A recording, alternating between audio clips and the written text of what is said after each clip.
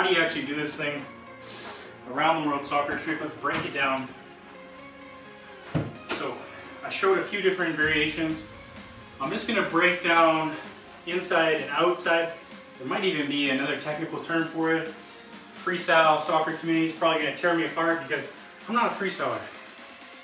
I have spent time in the past practicing the skills, having fun with it, and yes, it does help you develop your ball control. So if it's something you want to master, you're tired of not being able to do it, let's talk about how to do it.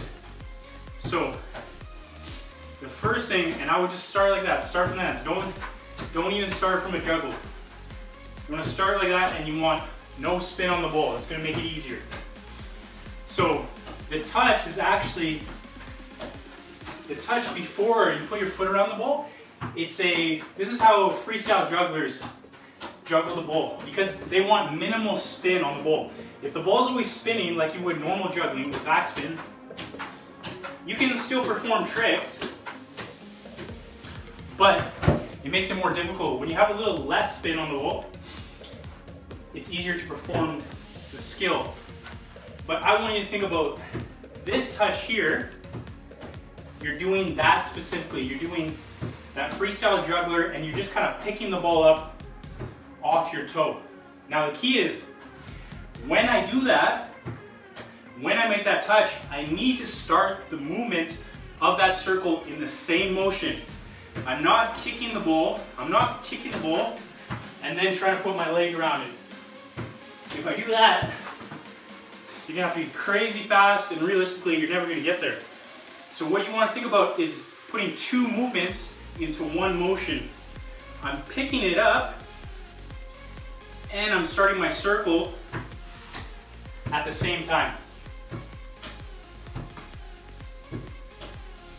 Okay, so you're doing that juggling touch, it's coming off the toe, and at the same time, I'm starting the circle. And I'm actually hitting a little on the inside of the ball I'm definitely not hitting on this side of the ball. I'm hitting a little more on this side of the ball. And that's where you see that side spin. Okay, because if I hit it right in the middle, it's just gonna hit me in the foot. If I hit it too much on this side, that's what you're gonna do when you try to go the other way. So you want to pick up that foot, you wanna hit on this side of the ball, you wanna start the movement at the same time. Picking up the leg, and then going around. And also I have to say,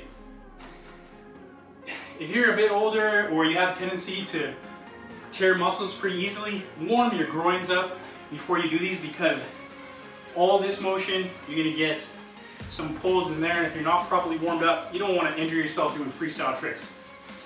So,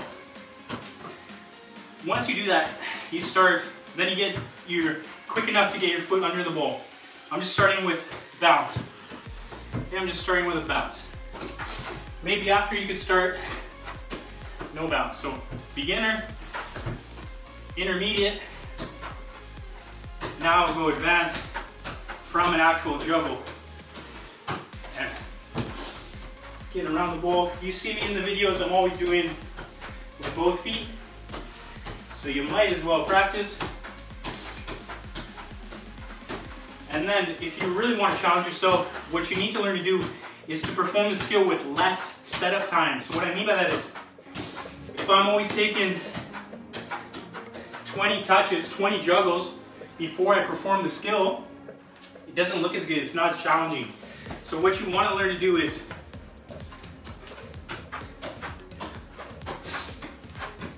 maybe like one maybe like one touch in between to set yourself, and then perform the skill. Try to get, if you, if you mastered it, and you feel pretty good about it, get away from one, okay, okay, I'm ready, I'm ready, I'm gonna go. Just go, just go, just try it. If you, if you screw up, the ball goes away, who cares? Just try it. You, you'll surprise yourself a lot of times just going for it. So don't overthink it. Obviously, you want to try to set yourself the touch before you make the skill is extremely important. So if I know I'm about to perform the skill, I need good quality in this touch right before the skill. If this touch is off, then that screws me up. Okay, so really focus on the set before the skill. But as I said, if it's not perfect, just go for it. Just see what happens, okay? And screw up and come back and try it again. And let's talk about that like I talked in previous uh, freestyle trick videos. If you screw up and what do you do? Oh, I can't do it. I can't do it. Screw this. And you just leave it, you're never going to improve.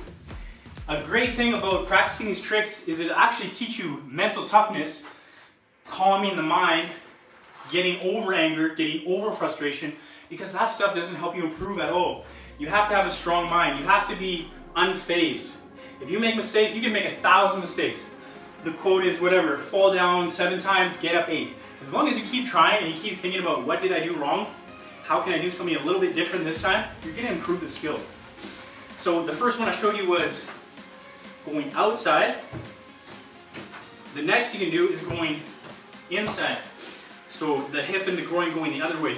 This way compared to this way. Same principles apply. Instead of hitting on this side of the ball, and I, when I say hitting on this side of the ball, I'm not actually hitting here. I'm hitting just slightly off center. On this side, I'm hitting slightly off center on the other side. Okay, so I'm, I'm hitting here. It's giving that side spin on the ball and I'm completing that circle, but it's coming, remember, it's at the same time. Touch and start your circle. Practice with both feet. Okay, that's where I would start with that bounce, then go to the hands, then go to a basic juggle, and then minimize your setup time. So as you saw in the video, I did a couple of different variations, but you can go outside, inside. You can do multiples, which is pretty tough and, and you have to have quick feet and a good groin uh, mobility, hip mobility. And let's also talk about the body positioning. If I am off balance and I'm here doing the skill, it's gonna be really tough. So think about having good foundation, getting your body over the ball, and from this position, you're gonna be more successful. What else did I do? I did like a, I did a inside inside, so here, here, something like that. And I'm not gonna go into crazy detail on the advanced ones. For this video, I just wanna do a basic tutorial on how to do around the world soccer trick. Just like any trick, if you want to improve this, any skill, you got to put in the practice. Do not expect yourself to be a master. Don't allow yourself to get frustrated when you haven't even put in the work. If you're always looking at what other people do and saying, oh, I can't do that, I'm not as good as them, you're never focused on yourself. Don't worry where they are. Don't worry what they can do. Focus on what you can do today. Become a little bit better each day, and you're going to improve those skills, and eventually you'll catch up to the other people. Don't worry about anyone else. What level are you at? Beginner, intermediate, advanced? How can you challenge yourself? How can you take your skills to the next level?